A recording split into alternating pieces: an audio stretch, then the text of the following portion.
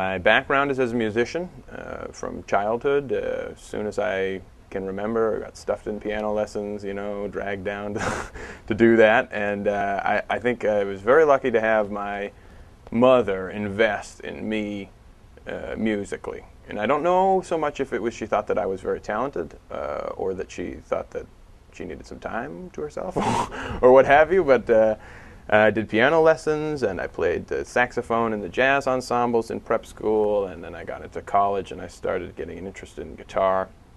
And uh, the um, degree that uh, I have from DePaul is in sound recording technology. So at a certain point, I decided that I was going to be on the other side of the glass, so to speak. Um, and, and as far as I got started in the recording industry, it was a very uh, easy thing for me to do because it was sort of forced on me in a way. Um, I was very young and I purchased a guitar at a yard sale, very simple thing to do. A pretty guitar, it looked nice, shiny. Uh, I had no intention of playing it. uh, I just simply wanted to have something cool in my room to look at, you know. Uh, and my friend says, "Oh, you've got a guitar?" You know, my my good friend. He says, "You're in my band." I said, "No, I'm not. I don't play." And he says, "Too bad. You're coming over." And uh, I got involved with the band uh, from a very early age of maybe 14. Um, where I was uh, involved with a group called Mark One. Mark-One.com is the address for that band that uh, no longer functions, but we, we did put out two records together. Um, and they are progressive rock theme type albums, primarily for uh, really art, artsy folks. I suppose Europeans really like the music a lot. Uh, sold a lot of records in France and Iceland, and not, not in America. Um, and we had a very comfortable music recording studio that was beyond our my means, anyways, and mostly financed by the drummer. Uh, we had Kyle Jones as the lead vocalist. He's the guy who got me involved in the group. And then Chris Malinsky, uh, the drummer, had, uh, back in 1996 even, the ability for us to go over to his house, work in a fairly well put together recording studio with 24 tracks and CD burning technology, which blew my mind. This is when you put the CD in the case, and then you put the case in the computer and the CDs were like 20 bucks a piece, so you better not screw them up, you know. um, and I worked at a sub shop. I bought myself a, a, nice PA system. We played shows. We worked five days a week. Um, and I think that's the best training you can get because it was done in the spirit of friendship, you know. And the studio was always a very fun, fun place to be, and I always look forward to it. As soon as I got out of work, I'd run outside, get in the van, run to the studio. Uh, we, were, we would all set up in the round and we called our studio the Briar Patch because you could not walk across it. uh, so many cables, so much muck. Uh, all you could hope to do was throw things at people. Uh, and um, we put out those two records that I mentioned. Um, in 2000, we got a nice little uh, deal with a French record distributor called Musea Records, or Musea, excuse me if I pronounce that wrong. And uh, they picked up our record and uh, distribute it even to this day in um, little boutique record store shops, and we're part of their catalog. And uh, every once in a while, I get a rogue email from people from like Uzbekistan who, who like our music and all that.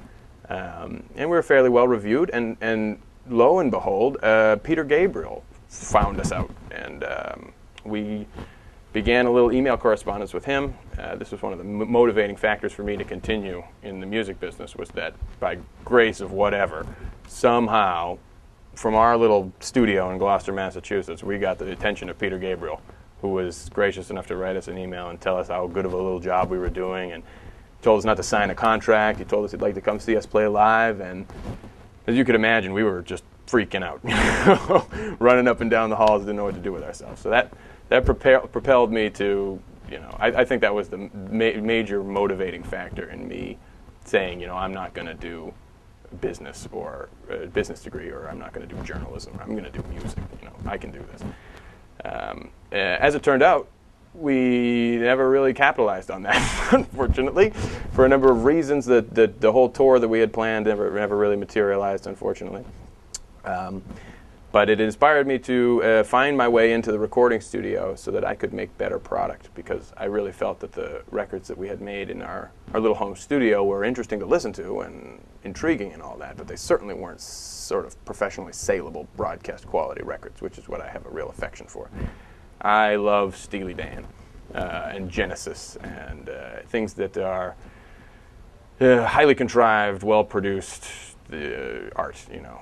Uh, not to say that I don't like Bob Dylan, I don't like a little folk. I like things that are out of tune too. You know? but uh, my music sounds much like a combination of Steely Dan and Genesis. Um, it's structural and it, it, has a lot of production to it. So I got myself um, out of college and uh, into an internship at a recording studio where I was, uh, you know, phone boy, stamp licker, er- errand man uh, for a while and uh, began working for a private school inside of a recording studio called the Music Industry Workshop. And this private vocational school um, services uh, a different range of students than a college would. The classes at the Music Industry Workshop range from a couple hundred bucks up to maybe 4,000 bucks. And uh, you uh, can study music production, you can study sound engineering, you can study music business and things like that.